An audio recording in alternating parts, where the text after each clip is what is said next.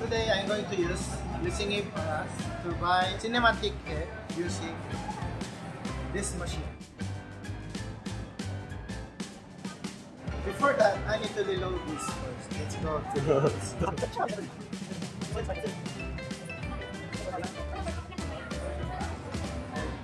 I just load my card and proceeding to this machine.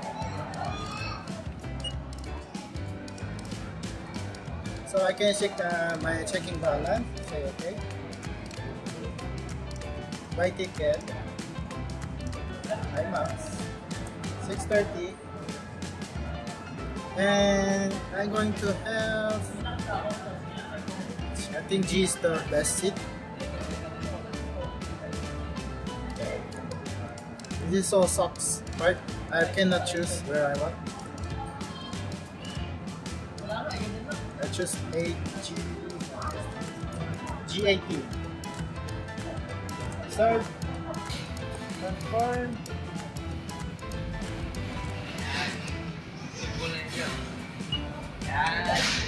Okay. Ah, I have my first ticket. I was using A Plus since when they came out in 2012 and today it's 2017. I'm not sure when E Plus ticket machine was there. If I'm not mistaken, it was 1 to 2 years ago. It was there at the corner. After 2 to 3 weeks ago, I found out it's working but not working as perfect or correctly it takes time to to purchase a ticket. I tried somehow but it was not working. So it was good when we when i found out with my friends that it's working properly. But still i have problem. I cannot print my ticket first time. Actually that's a second shot and I found out also SM Cinema is starting reservating seats. They're going to implement all of them soon. Yeah, not one by one. It's uh, they will implement them soon.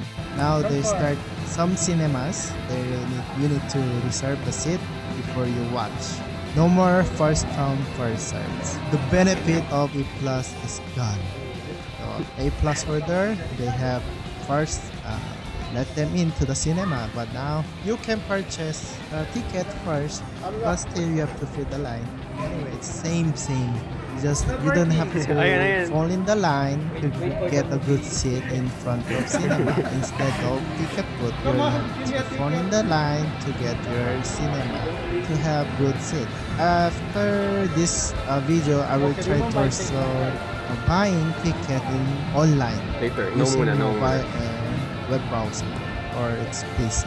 I hope you enjoy my video and I let my friend also purchase or try to use this uh, system and let's see what will happen. Thank you.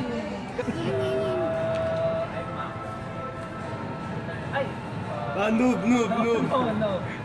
630. What should we take? Guess what? 89.